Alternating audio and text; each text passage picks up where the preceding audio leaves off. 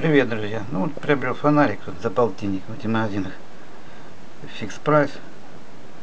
Фонарик. Вот мы с него хотим поставить более мощные светодиоды и переделать под ходовые его попробовать.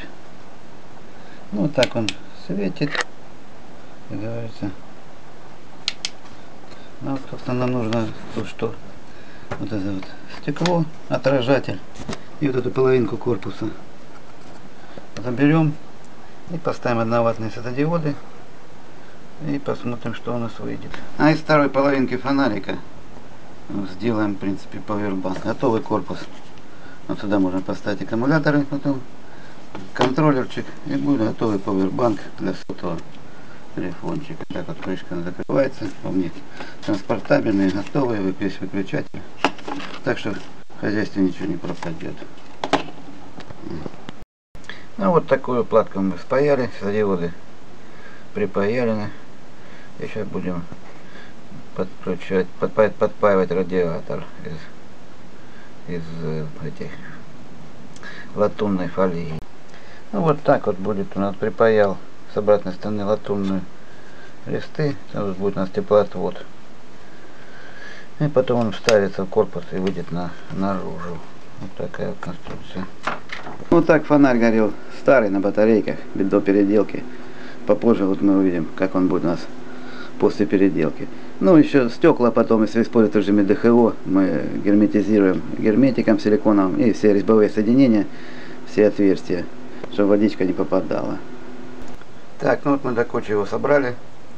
Сейчас проверяем, что у нас по току ест, в зависимости от напряжения. Ну, вот сейчас при 12 вольтах 0,21 увеличиваем.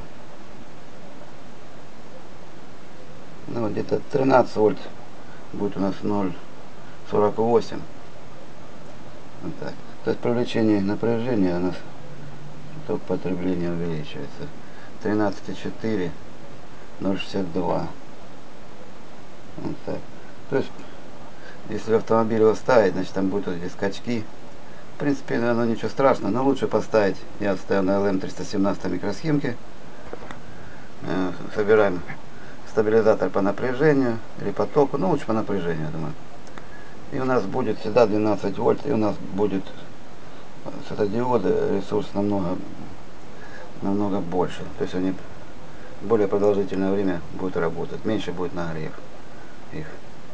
Ну вот такая вот конструкция получилась. Ну вот, э, кронштейн я сделал, сюда поставил, это будет к машине крепиться. Радиатор вот так выглядит. Это. Ну, тут свет, ой, ой, ой. Там тест был у нас по сравнению с обычным, со штатным светодиодами, которые стояли, видите. Ну, а вся конструкция, вот 50 рублей фонарик, что не жалко для экспериментов. И 7 диодов по тройку. Вот считайте. Результат, конечно, неплохой.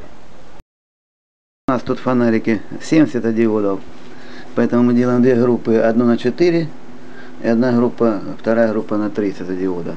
Вторую группу мы еще подключаем последовательно 4, 4 просто диода обычных до ампера, чтобы у нас э, кажется, там падение было где-то 3-4 вольта, чтобы выровнять все одинаково, чтобы светили. Но стабилизатор по напряжению подключаем на LM317, и у нас постоянно где-то будет у нас в районе 12 вольт напряжение на ходовые, чтобы скачков от бортовой сети влияния не было. Ну все, всем удачи.